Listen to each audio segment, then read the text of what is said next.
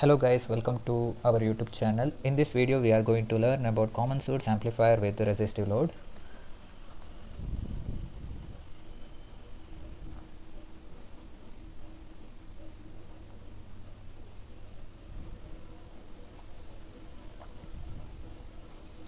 In this circuit we have a resistor RD and a amplifying device M and input is connected to the gate of the transistor and from the drain terminal of the transistor we take an output. As we know that transistor is an variable resistor as based on the input gate voltage its resistance will be varied. So we can model this circuit as an two resistors in series that is one resistor is RD that is drain resistor and one more is the internal resistance of the transistor that is R on that is varied by input voltage V in and this is how we can model the this CS amplifier and this is the V out. In this circuit we are going to calculate gain that is the output voltage divided by the input voltage and what is the uh, input impedance offered by this circuit that is this in, uh, uh, impedance in at this end and also the output output impedance that is the impedance seen at the output terminal. To find the gain of this CS amplifier, we have to apply the small signal analysis. In small signal analysis, any DC sources are shorted because the frequency content is 0 Hz. To find the voltage gain, input impedance and output impedance of the CS amplifier, we have to apply the AC analysis. In AC analysis, any DC sources are shorted. In this circuit, we connected input to the gate terminal and uh, based on the variation in the gate to source voltage produces an equivalent drain current that is ID is equal to GM into VGS. Here GM is the trans and R on is the internal resistance of the MOSFET and RD is the drain resistor. Now we have to find voltage gain that is given by V out by V in. Now to solve this we, we apply KVL to input loop and also output loop. Now when we apply KVL to input loop we get V in minus VGS equal to 0 that gives us V in is nothing but the gate to source voltage VGS when we and here at the output side this R on and RD comes in parallel so we can club together as a single resistor that is R on parallel RD. Now when we apply KVL to output loop we get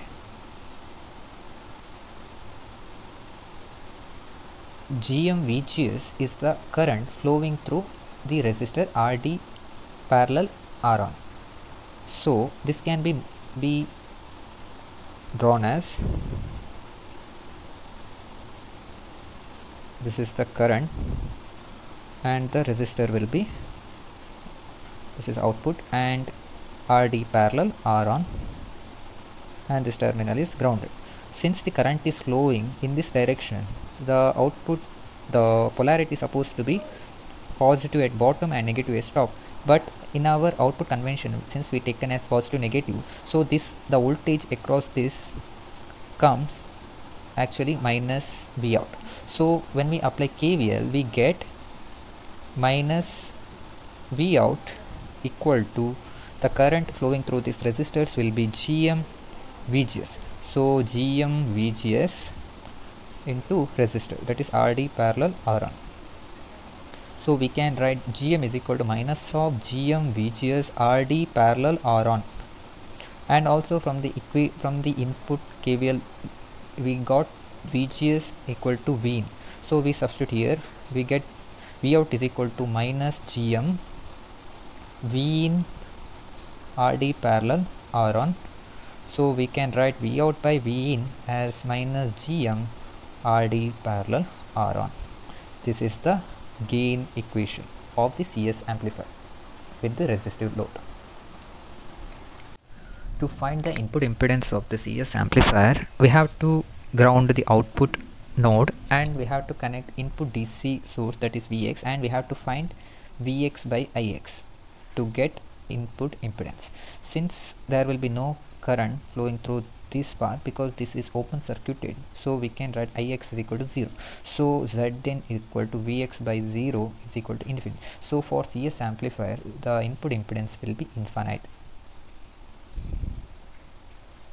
To find the output impedance we have to ground the input voltage and we have to connect the Vx at the output node and we have to find Vx by Ix in order to find the output impedance Z out.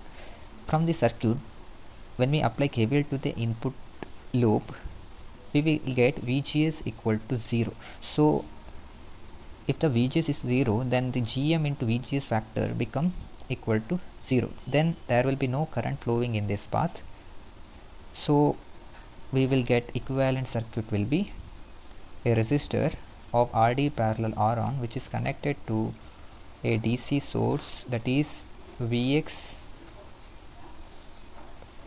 then if we find Vx by Ix we will get RD parallel R on.